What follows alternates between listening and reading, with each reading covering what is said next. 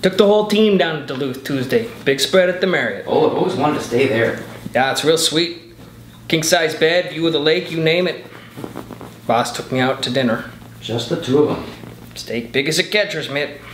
Said, Ronny, you're going places in this world. Gave him a raise in a corner office, vice president of sales, Midwest region. About the surround sound. Celebrate. Pretty sweet, huh? You may have to marry that hand to get any more familiar with it. Oh, I saw it on Rachael Ray.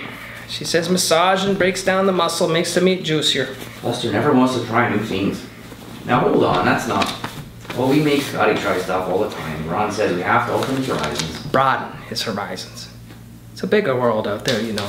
It's more to life than just Minnesota. Took a real tumble there, huh?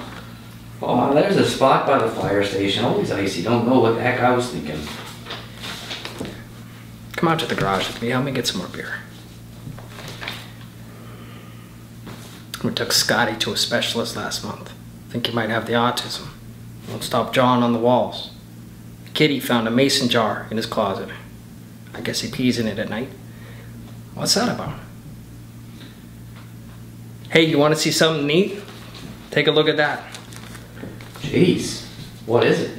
That there is your M249 solid machine gun, sometimes referred to as a piglet. Are you allowed to? Can you even have that? Is it legal?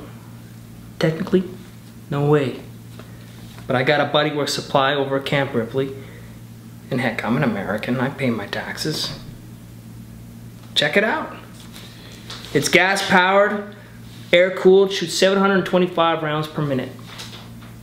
Ah, jeez. Oh, you should have told me it was so heavy. Is it okay? No, Lester, it's not okay. You bent the darn. Why are you such a GD screw up? Hey, now, I. Ever since you were. And now, Kitty said she talked to Pearl last week. And she's had it. Your wife. Said you're acting just plain weird, moping around. Said she caught you standing in the bathroom with your toothbrush in your hand, just staring into the mirror. Said there was foam coming out of your mouth, just like you were a rabid dog. That's. Come on, that's not how I may or may be feeling. And for your information, was I hadn't had a lot of sleep the night before, and so just toothpaste, that was just. Did you really trip on the ice? Yeah. Break your nose? Yes, yeah, I told you, outside the fire station. You know, they run the hoses, wash the trucks around, gets all wet, real slippery.